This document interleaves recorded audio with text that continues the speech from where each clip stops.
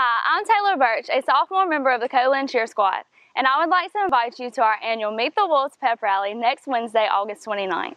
The event will take place in Mullen Gymnasium on Co-Lin's Wesson campus beginning at 7 p.m. Fans will have an opportunity to meet all of our athletes and hear from coaches across all eight varsity sports. Our athletic season begins next Thursday, August 30th, as the Wolves travel to Holmes to take on the Bulldogs in Goodman at 6.30. With our athletic year approaching, quickly make sure you come show your support next Wednesday at 7. And as always, back the pack.